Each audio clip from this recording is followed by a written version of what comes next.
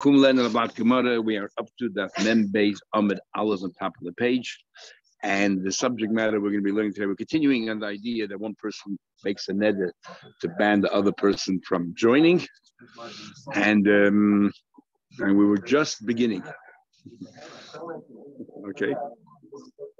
So um, and when it comes to uh, so we're going to talk about a case again, Reuven and Shimon, where Shimon said to Reuven, "You cannot have any benefit from me.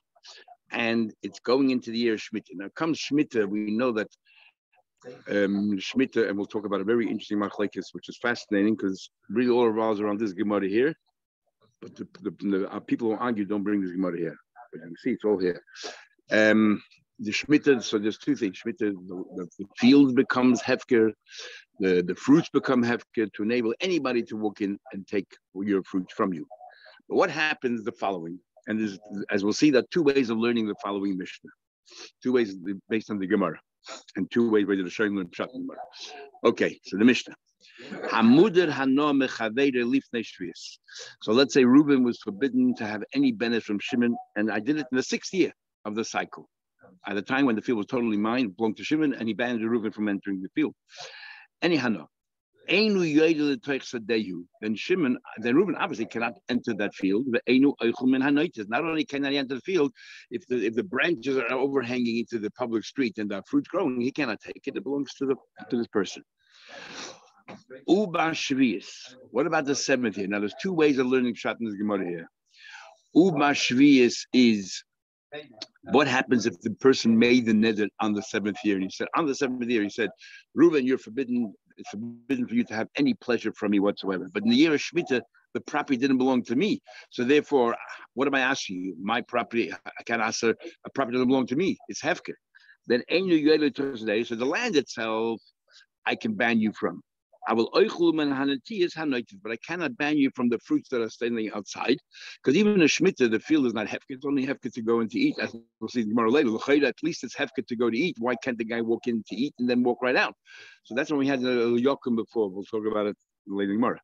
But the the, the, hanoitis, any branches overhanging the street, they're hefka, so you can take them. That's one way learning shot. The other way shot is that it's not two separate cases, it's a continuation. That even though I made the neder in the sixth year, and during the sixth year it's forbidden for you to enter my property, but comes the seventh year in the same scenario, you can walk in now into my property. Because even though I made a neder in the sixth year at the time when it belonged to me, but once the property no longer belongs to me, the Isa does not continue with it. Okay, we'll see more two ways of learning. Um, that's okay. Okay. Not that he meant what I, I said to you, I didn't say to you that you're not allowed to have any anok from me. So I don't want you to eat from me. Then leaf shvi, if I did in the six year, you're usually allowed to walk into my field. You can never ban walking into my field. But the ain't you cannot eat from the fruits. But a b'shvius, when it comes to the year of Shemitah, then yoided come to your Shemitah, he goes in and he can eat because the property you're allowed to walk into, and the fruits are not mine anymore. So they're mutter. Okay, Gemara. So we have two ways of learning the Gemara. Now, this is how the Gemara thinks in the beginning. Rabbi Shmuel, Rabbi Shmuel will say, now, before we continue, there's a there's a nechasim elu and there's nechasai. If I say these words, nechasai, my estate. So my estate can be interpreted as, as long as this belongs to me, it is forbidden to you. My assets are forbidden to you. But the moment these assets are no longer mine, they're hefker, I, it, not forbidden to you. If I said nechasim elu, it can be interpreted. This property is forbidden to you. I don't care if it still belongs to me. It doesn't belong to me. I don't care if I sold it to a third party. You're forbidden, and, and right now it's mine, so I can put an isser on it. The isser remains forever. That's how we can interpret. However, the Gemara is going to seem to say, according to Moshe Shain, not the Rambam, Moshe Shain learned that that Rabbi Shmuel and Shlok Rabbi had a big argument, and they don't care what you say. They don't care the wording. They care more the halachic principle. And the lucky principle in question here is, can I place a ban on something even be after it's no longer my ownership? Whatever you, whatever use, whatever terms I use, but once I sold the property to somebody else or became hefker, that the ban that I put in place while it was mine still continue lingers on, or that's it. It dissipates. It's gone. It vanishes. What what would be the Havamina to say that he has a ticket to because because, because once I it's not because when I did it, it was mine. So the Easter, because once the Easter, where did it where did it disappear? No, it doesn't. Just saying it. We learned before certain things mafki as a shibud, and uh, but selling doesn't take away the Issa to you. The Issa remains forever. That's the of things right now. We'll see later whether that's the case or not. We'll see later. And the Ran, however, puts in a, a middle case where if you said nechosai elu, that's one step lower than uh, the chasim elu, but one step higher than the chosai. Because he added the word elu, said when the chosai, where that go? And then he makes a whole thing out of that, but we won't follow that. I'm going to go to the Gemara learns here. Rabbi Shmuel, they say, they both say that nechasim elu. That's what the difference say is whether it's nechosai elu or nechasim elu. That even alecha, that even if you use these words, nechasim elu lecha. Um, lifnei shvius, ein yoyed They say that, sorry, they say right now that if you said the word nechasim elu, then the, the Issa remains even in the year of Shemitah. And the Gemara will understand that the reason is not because they use the word Nechasim Elu, it's irrelevant, it's pedantic, it's not relevant. What is relevant is that Rabbi Shmuel both will hold that once the Isa was put into place while it's in my ownership, it can continue on beyond my ownership. But the im so that's the first ratio of the Mishnah. And then the next case of the Mishnah is Bashviyas means the im Bashviyas nadar. If you, you made the ned in the year of Shemitah when the land belonged to you anyway, ain't okay, the field still belongs to Shimon, so therefore he can put an issue on it. I will He definitely can eat the fruits. Now, why he why the field belongs to me in Shemitah when the din is clearly that it's hefker uh, for uh, what do you call it uh, to, for people to be able to walk in to take the fruits. So that the Gemara will talk at the end of the Gemara. Okay, came along Rabbi Yechon Reish Lakish, and Rabbi Yechon Lakish heard what Rabbi Shmuel said in Bavel, and Rabbi Yechon Lakish, they both are. They both say that no, nechasai alecha lifnei shvis. If you said it before Shemitah, ein yoyle say, in the sixth year you cannot walk in the field. Vein noichel menanaita, you cannot eat the fruit because it's chal. Obviously, no kiddush there. But a gia shvis, that very neder you made in the sixth year, and even though the neder was chal, it was a valid neder. Comes the seventh year, comes Shemitah, and everything is hefker.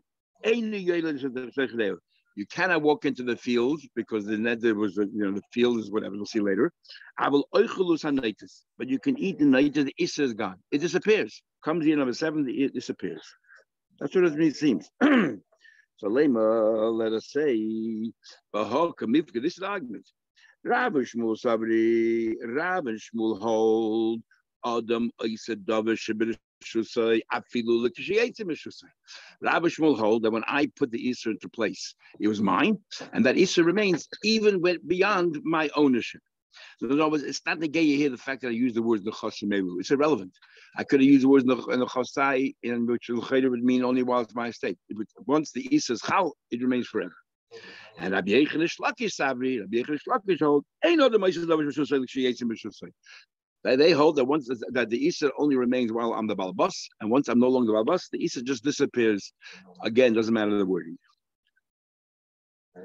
Says the Gemara. Um, Im kain, if the wording doesn't matter, then how come Rabbi Shmuel used after the word nechasim and why did Rabbi Yechon use the word nechasai? Im kain, if so, niflig min nechasim elu v'chol came nechasai. Let them argue by nechasim elu, which nechasim elu you could say lecheda should the Isha should continue even beyond my ownership, because nechasai lecheda clearly means kolzman they belong to me. If I use the word nechasim elu, these these assets whether they're mine or not. And yet, Rabbi, Yechonish Lakish say, once it comes year seven, Ibik, it's no longer his, the Easter is gone. So, you know, so the same thing could be over here. Uh, so, so, so, so, what's what do you have to change the wording for? Just talk about this very principle. Does the Easter remain beyond my ownership or not? Simple as that. That's question one. So that's a question understanding their argument. And then two, we have a, quite, a technical question as well. So, how did we learned in the Mishnah? Adam, we learned Adam. I said We'll clearly we I'll bring a knife from Mishnah that a person puts an issa into place.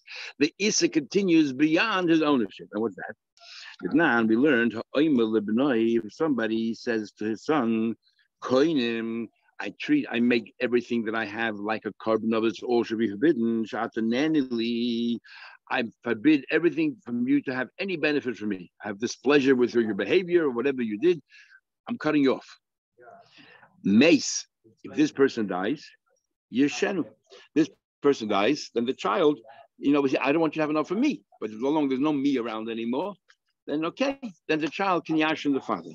But what happens if he adds the words He says, I don't I'm cutting you out today and from the will, I don't want you to have anything to do anymore with our family. Then he may said, even if the person dies, lo yishanu, the guy doesn't inherit the inherit anymore. What do we see from here clearly? That I could put an Easter into place even beyond my uh, the person's life. And, and the Torah says it's automatic. When you yashin, it's automatic. So it should go there. And yet I can. It's not that I took the money away from you and I gave it to somebody else. I just said I want you to be a Yodish. I don't want you to have anything to do with my estate. It's als neder. It's as like a neder that you don't have any benefit, and the neder continues beyond the person's life. So we see clearly from here that a person can make an isa today, and even though it's no longer in the shush, once it's dead, you don't own anything once you're dead. You're no longer balabas, and the isa remains.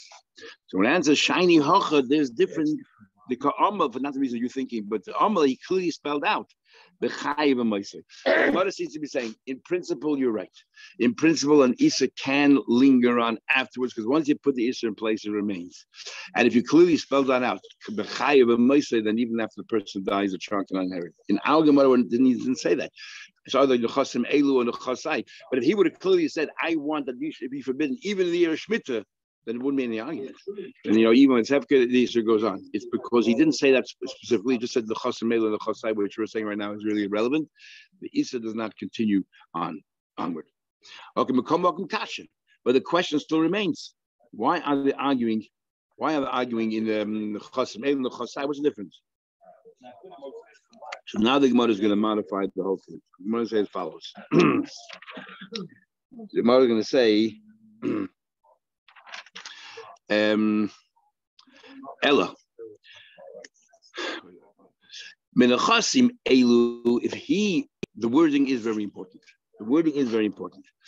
If he would have said, Nechasim Elu, Shimon would have said to Reuben, these Nechasim are forbidden to you, then Kulayam Lepligi, there's no argument. It comes the year Shemitah, it's still Nechasim Elu, and the Easter remains. In other words, if you say Nechasim Elu, the Easter does remain with this, this property, then it goes on forever.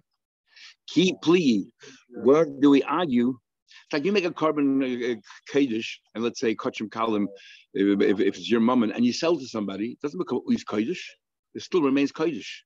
So over here also, if you said nechasim elu, even though they're no longer mine, it's us. Keep pleading. You know what they're arguing? Bin They're arguing when you said the word nechasai. So that, that's one of the things right now. Rabbi Shmuel Sabri, Rabbi Shmuel hold that that the Issa remains for Loishna, Nechosim Elu, Loishna, Nechosai, Nechosai, makes no difference. Other Maisa, once the Easter is there, even though he said Nechosai and the and the property now moved beyond him, it doesn't matter. It always remains us. um, Rabbi Yechon, the Shlakish hold that no, that nechasim elu adamais. If you said nechasim elu, okay. You, you, talk about the nechasim, the issa remains. But nechasai, if you clearly said my nechasim, then it's only as long as it's mine. Ain't adamais Once it leaves as a truth, it no longer remains us. Says the Gemara, still not happy. So you're still telling me they're still arguing about this fundamental argument that Isa remains, and the question is only when the wording can be interpreted that way. In other words, you're saying everyone agrees the Chasim Elu, the Isa remains, even Rabbi Shmuel. They're only arguing about the Chasai. Once the Isa goes, even though you said the Chasai, according to Rabbi Shmuel, once the Isa is Chal, how does the Isa leave? We had a few days, uh, a few weeks ago. Isa doesn't just just die like puppy. You can't just leave on it by itself. So therefore, Rabbi Shmuel hold where you more understands now. Once the Isa is Chalia, it stays. Rabbi say no, it's like you made it tonight. Only while it's nechosai, and the moment it's no longer nechosai, the Isa disappears. Says the Gemara, is there an opinion that that You're going to tell me that uh, that Rabbi Shmuel are so machmed that there's no difference whether he says nechosai and nechosim elu. They hold even nechosai. These remains. I'll show you from another halacha that there's a major difference. But now we learned, we will learn how somebody says to his friend, koinem, I make it like a carbon that I will not walk into your house. To me, your house is like a carbon, but he used the word beisecha, your house, which is like nechasa, right? Yours, mine. Shani nichnis, I will walk in. Or if I buy the field from you, you should know that'll be us. No, don't don't pester me to buy it for you because I'm it's, it's, I'm not going to use it. Mace, let's say the guy died It's no longer Beischa, it's no longer his house, or no longer Sadcha. Mutter, he's permitted. Oh, but if he said Lebaizeh, this house will be forbidden to me. Shani nichnis. Sadazu, shani lekech. This field will be forbidden to me. Meis. What if he clears me? There's a major distinction whether you say beischa or you say, you know, bayizu. So the same thing here. Big difference. The chasai or the chasimelu. The chasimelu should remain forever. The chasai is only kozman. It's mine. So what's Abba Shmuel saying that the chasai is lost forever? Ella says is actually no machlekes. That you know why they gave different examples? Because they're not talking about the same thing. Ki amri Rabbi Yechidish Laki, Rabbi Yechidish Laki we're talking about the chasai. Rabbi Yechidish Laki we're talking about the chasai. and Rabbi Shmuel with the chasim elu. Rabbi Yechidish Laki is saying he said the chasai. That's why they say in the year Shemitah it's not us. And why? Because he said the chasai called man is mine. Come Shemitah is no longer us. Therefore, you could you know you could walk into the into the field, or you can walk in and at least you can eat the, um, the fruit. Why you can't walk in the field with Sileh? Uh, but Rabbi Shmuel said, whether Rabbi, um, so Rabbi Shmuel learned the Mishnah clearly, the Mishnah and the Chasimelu. So the very beginning of the Mishnah talking about you made the ned in the sixth year, and that's why the Easter remains in the seventh year. If and, and, this, and the next thing is the Shri means you made a ned in the seventh year. Because you because if you made a ned in the Chasim Elu in the sixth year, the Easter would remain into the seventh year. So therefore, they're talking about two different cases.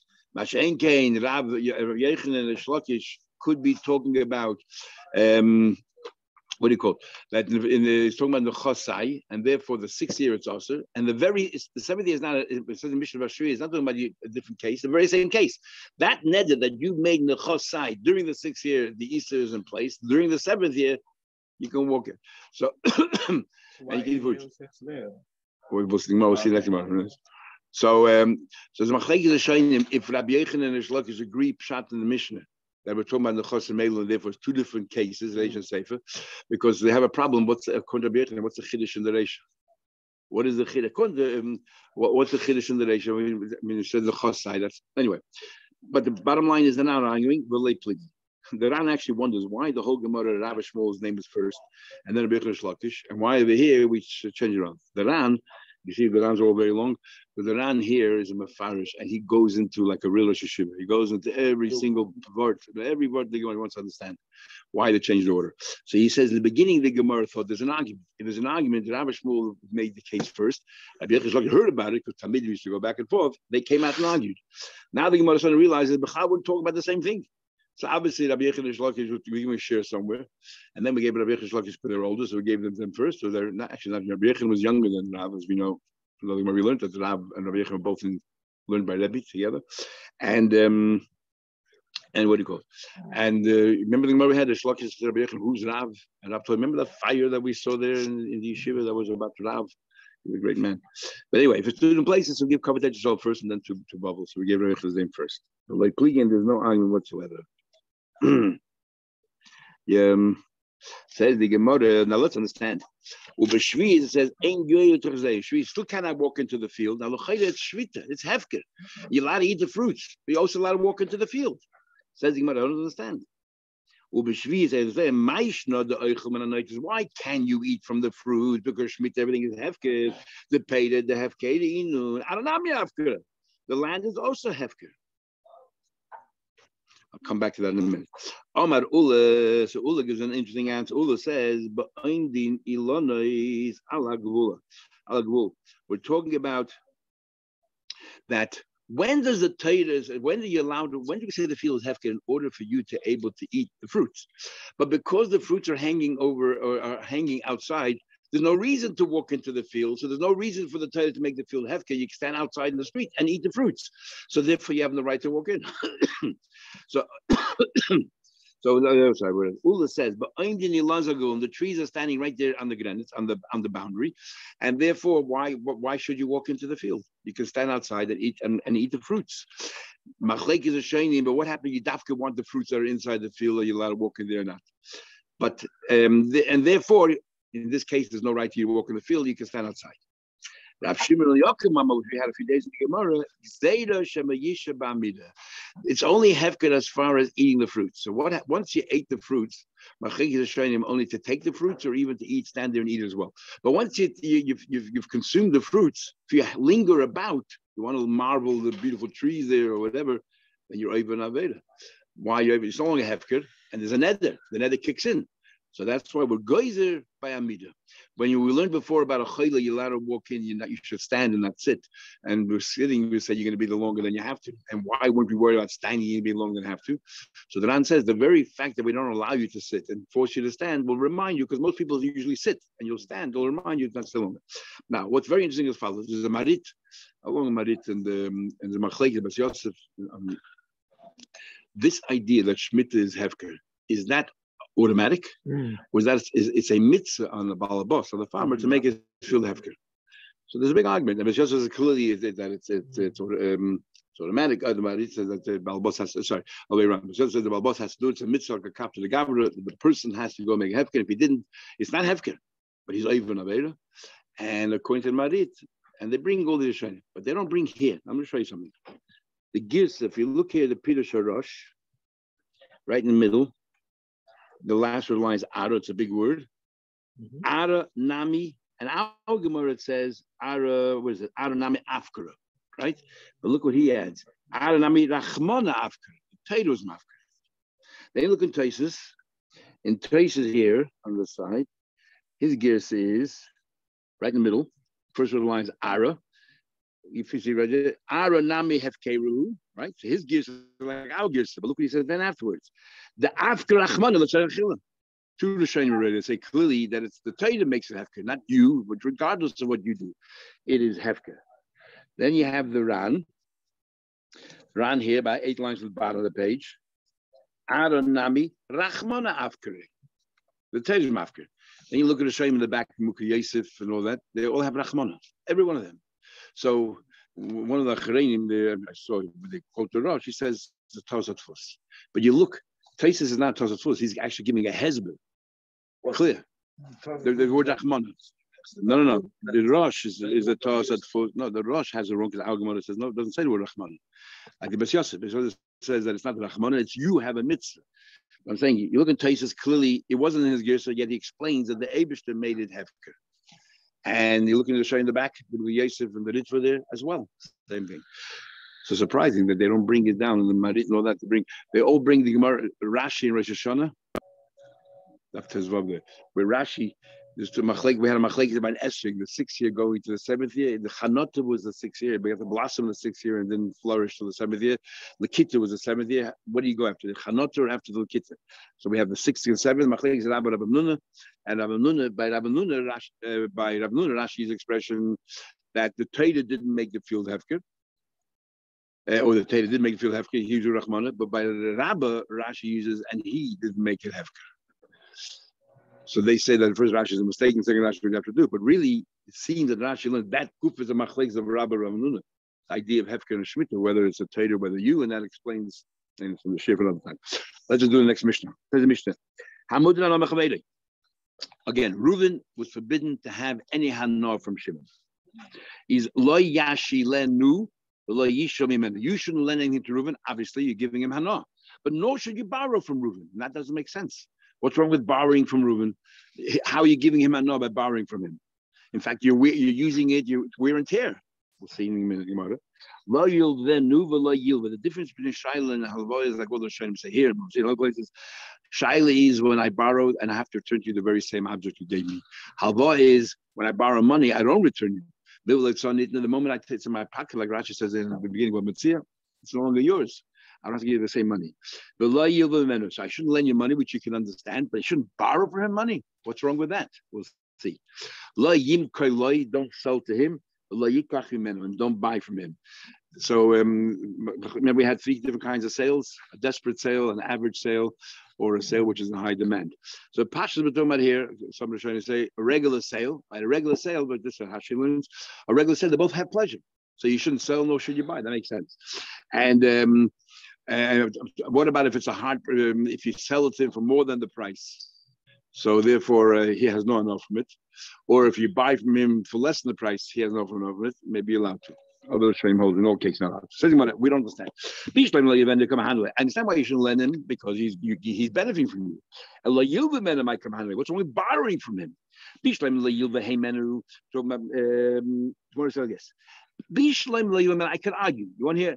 I can argue in a limited case that you know if you borrow money from him, there's an advantage to the lender. You know the lender advantages that when you borrow from him, he might give you coins poor quality, dollar bills that are falling apart, and you return them a, a, a brand new bills. Okay, he got he gained something you can learn. That's what mission is talking about. In a case where there's hana to the to the lender as well, don't borrow money from the guy that you made you asked hana. They should have enough from you. The same thing. Sometimes you know, sometimes you buy from him if it's something that he can't sell anywhere else. So if I'm buying from him, I'm doing him a favor. So maybe that's what the mission is talking about right? Ella, this is called Ba'ape, which right in his face. It's, it's, you can see his face looks miserable. Ella Yishulimena, borrowing from him. What's wrong with borrowing? Might come his hand in it. Other is wear and tear. And he's worried I might break it and so on. So basically, you're right. Talking about they banned each other from having any benefit from each other, and that's why I kind of borrowed him, he kind of borrowed me. But Abai says no. Gzeda, we are worried, Lisha, the reason why we don't allow you to borrow from him, Mishum Lahashil. If you're going to have that kind of relationship where you can borrow, then tomorrow you might lend him. You might even feel guilty that you borrow from him, that's lent him, and what is his name? And all other cases as well. We're not talking about specific cases, we're talking limited cases, we're talking about is a that if you go one way, you'll go the other way as well. Okay, that concludes today's Gemara. We'll continue tomorrow, Mitzvah Have a good day, everybody.